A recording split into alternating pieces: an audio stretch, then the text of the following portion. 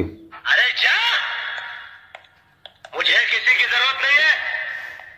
अरे जब मैंने अपने दिल में रहने वालों के जाने का अफसोस नहीं किया तो घर से जाने वालों की परवाह क्या करूँगा? मास्टर तो सिर्फ़ बातों की चिंता तो- कर सकता है। दिलों के चिथड़ों को ना